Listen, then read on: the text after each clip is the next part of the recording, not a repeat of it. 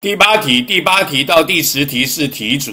亚佛加爵提出了著名的亚佛加爵假说，之后经大量实验证实为定律，且他提出了关于分子的概念。为了纪念他对化学的贡献，我们所学的一摩尔等于六乘以十的二十三次方，称之为亚佛加爵常数。请回答下列问题。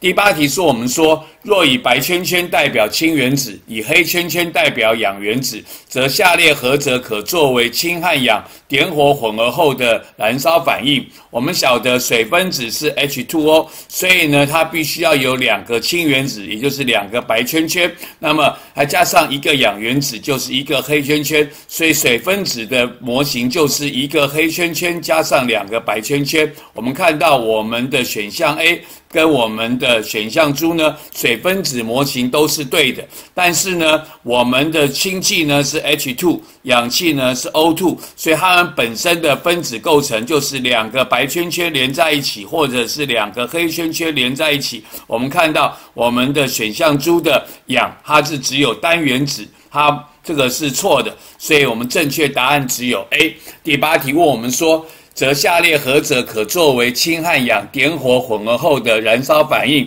我们答案选的是 A。